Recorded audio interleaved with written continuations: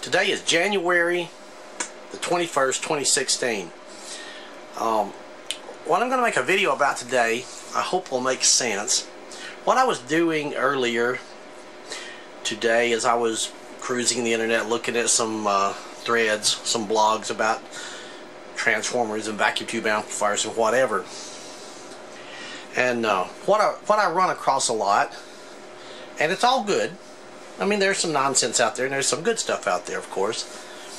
Is uh, they were talking about the load impedance and the reflected impedance. The load impedance on the secondary, the reflected impedance back to the primary. The primary being where the plates of the push-pull tubes are connected, of course. And uh, there was a gentleman that made some measurements, like the things that I do. And in a nutshell, his measurements didn't turn out to be exactly 5,000 or 4,000 or 2,500, whatever. But I recognized his variations, and I know I get the same thing. And there is a difference between a stated value, say 8,000 ohms, and a measured value. Because, for one thing, you've got to realize that the tolerance of the transformer is probably 10 or 20 percent. If it's 20 percent, then 20 percent of 8,000 is 1,600 ohms.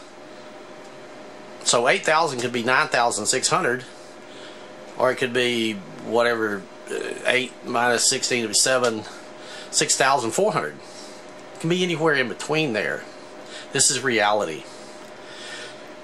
So what it boils down to is his numbers came out such that he was ridiculed and chastised and somebody was saying well you know you've got your um, impedance ratios changing and that's based on the turns ratio and you can't have your turns ratio changing in your transformer that's obvious. I mean the transformer is fixed the turns ratio is fixed but it's a lot more complex than that so what I'm going to do is make some real life measurements. We have a transformer that's stamped exactly what it's supposed to be, and I trust it. I have some components we'll use to verify that our um, our uh, impedance bridge is right on, and it is. And I'll show you that you don't get the numbers quite the way you think you do. First of all, meaning that if you say you have an 8,000 ohm primary to an 8 ohm load and you change that 8 ohm load to a 16 ohm load then you're going to have a 16,000 ohm primary reflected back. If, if you change the secondary load to 4 ohms then you're going to have a 4,000 ohm uh, primary impedance. Well, that is the way we do it and that is the engineering way to do it and I'm not trying to change that. But in reality, which may not even be important here, but I think it's kind of important to, uh, when you see where people have made actual measurements, you, you just don't get what the book says.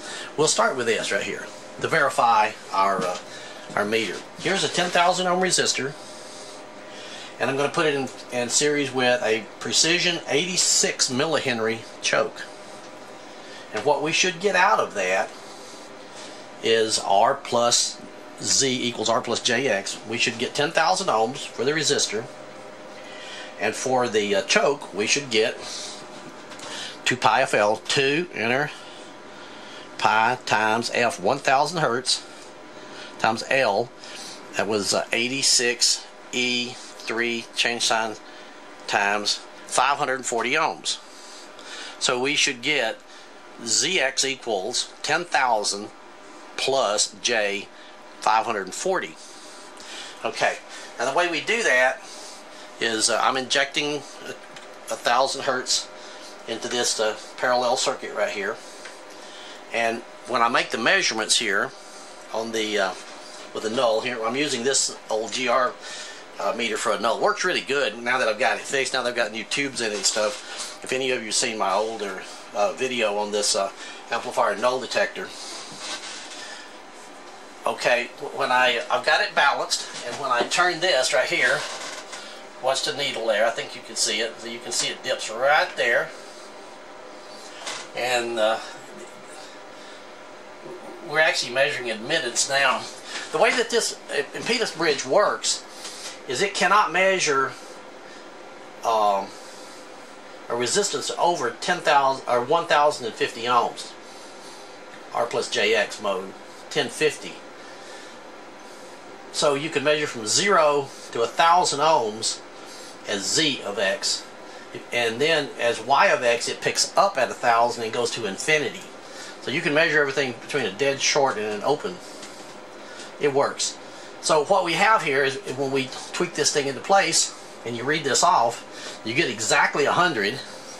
There's no here, I'm not going to move the camera, but as close as you can possibly read that is about 5. Now, what I've done over here is I've written a little routine to make the math a little simpler. Let me zoom, zoom in on this and hope you can see this well. This is a, an Excel spreadsheet that I wrote a routine in, and I put in these admittance values right here. So if I put in 100, which I did, and 5, I can just type them in. I can go up here with my mouse and click on this and type in 100. Go down to the next cell and type in, it's actually minus 5. You, you have to read it carefully. It's a, uh, it's uh, BX is a minus 5. And then when you go down, what you end up getting is 9,000, it's R plus JX, is 9975 plus a uh, an X value of 498. Now I know that's not perfect. It's reading it as um, 9,975 for 10,000 ohms. That's pretty darn close, right? And, and it's reading the 540 as 498 that's about as close as I can read uh, the resolution of the, the thing. But that's that's ballpark. That's actually quite good. 498 to a ratio of 540. Let's see what that is. Uh, 498.75. Call it 499. Yeah, 499 divide. That's within 8%, 1.08. So we got a pretty good answer. And the scalar value which is just the Z portion of it, is says that uh, it's 10,000 ohms, 9,987 ohms. So we know that our instrument is pretty accurate. It's working. It's well within tolerance. We know it should be 10,000 plus, say, 4, uh, excuse me, 540, whatever it came out to be. I've already said it enough times. So it's okay. So our meter works. The reason I'm doing this is because I've heard some people malign the, the meter a little bit, but maybe they just didn't take the time to null it properly. Okay, with that said, now let's zoom back out and deal with a transformer. And I'll show you what we get. This is a little tedious, but bear with me if you can. Now, what I have here is that uh, James transformer, which I consider quite a nice little transformer. It's an 8,000 ohm primary, 8,000 ohm center tap primary to um, 4, 8, and 16 ohm. Okay, I've got 8 ohms across, the 8 ohms. These are 1% resistors right here. They're precision resistors. I'm going to stop the camera. I'm going to uh, set it up just so you don't have to watch me fumble so much. I'll come back and show you the readings. We'll punch them in again and, and we'll get the impedance and then I'll change it. And I, hopefully I can do all this, uh, you know, in one recording. and and and you'll you'll see what we get and I think you might be surprised okay we got the transformer hooked up I've got it very well balanced We've got it we're doing it in uh, this form right, right here admittance the admittance is in the form of G plus JBX well the value of G here is in micromhos and it's 110 so I've typed 120 so I've typed that in. This one is minus 10 I don't know if you want to see me put the camera on that so you can read them, but that's what it is.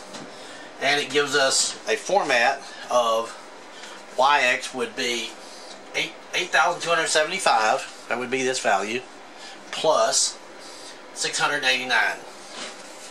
And then if you do the, the math to convert this to a scalar Z impedance, it's 8,304 ohms. So it's 8,300 ohms. It's supposed to be an 8,000 ohm transformer. So we're off by 300 ohms. Is that the fault of the transformer? Is that the fault of me? I don't know. fault of my equipment, but it's pretty darn close, isn't it? Now let's put a 4 ohm load across it. All I got to do is connect one more 8 ohm resistor parallel with it, and I got a 4 ohm load. And I'm going to try to do this one real time. See the meter pegged. Watch this meter right here when I when I put the other 4 ohms across it. See, there it is. I hope you can see that. When I do this, bang, peg. So now I've got to uh, get down here and null this again. Well, I got to turn the gain down so I can see where it is. Somewhere on there. There we go. See, it dipping down to zero. I turn the gain up so I've always got a really nice strong display about in the middle. There we go. That one's dipping nicely. This one is dipping right there. This is dipping right there. That's about as close as I can get it. If I really take the time to use this, I get just as accurate results as I do when I use a spectrum analyzer. Now I'm going to have to get my fat head in the way again, but if I look down at this, that looks like 210 and about oh, 15, 210 and 15. I'm going to punch that in, 210 and 15, and let's so you can see real time what it comes out to be.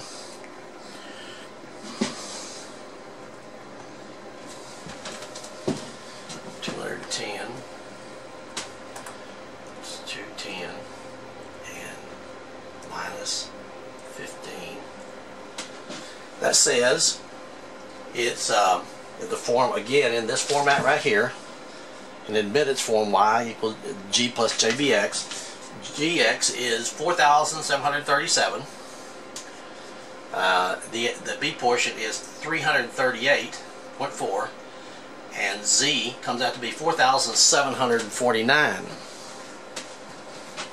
okay that's okay 4700 but what I'm what the point I'm making here is when you make real life measurements you don't get exactly 8000 and when you half it you don't get exactly 4000 life just isn't that clean. That's probably enough of a demonstration.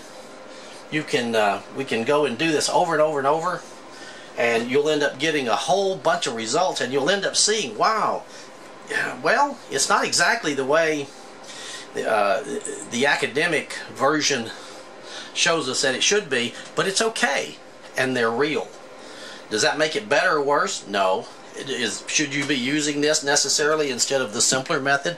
No. Not trying to change that. There's no need in changing it. We've been using the simple method all of our engineering lives, and we should keep it up. But it's just, I don't know. I guess I felt compelled to uh, to uh, uh, confirm that the gentleman that was making these measurements, his, his measurements were probably right. I am going to show you one other thing that's really going to surprise you, but I got to kind of regroup here. You're gonna you're gonna really say, "Whoa, this is crazy." But I'll give you a hint. Do you think if you put an 8 ohm load between 0 and 8 on your transformer, that's 8 ohms, right? Between 0 and 8, that's what I've been doing. And I get these numbers that are that are correct. They're they're within uh, the uh, tolerance of what we would expect.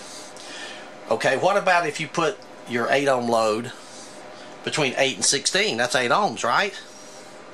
No, not even close. I'll have to show you the math for that. It's a little bit more complicated, but it's not bad. But it's not even close to right. I'll have to get resituated here.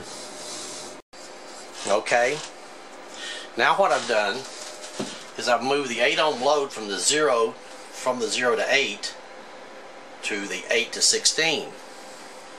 Now here's the crazy thing. You're going to love this. The unknown impedance works like this. Z3 is the unknown. It is the square root of the higher impedance minus the square root of the lower impedance that squared. If you do this math, so it's the square root of 16 minus the square root of 8 squared. 4 minus 2.828 squared.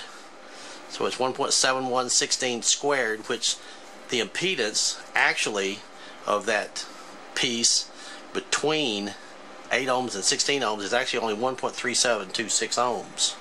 I know we don't have to carry that to that many decimal points. Okay, so now, since we have a 1.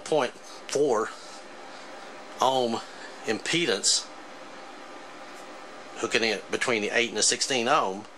Now we've got this multiplying ratio of 8 ohms is what we're putting on there. Now we're doing it back to the analytical math method. We divide that by the 1.3726 so we're going to have a multiplying factor of 5.83. 5.83 times our original impedance of 8,000 ohms is going to be 46,627. 46,000. Crazy, huh? Okay, well I've balanced this thing again, tediously, and I've put those numbers in, and look at what we get. Remember, we're expecting about 46,000 ohms or so.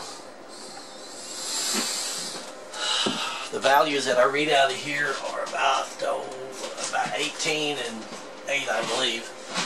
So I've, I've put those numbers in, these cells right here, 18 minus 8, and we get 50,767. 50,800 thereabouts.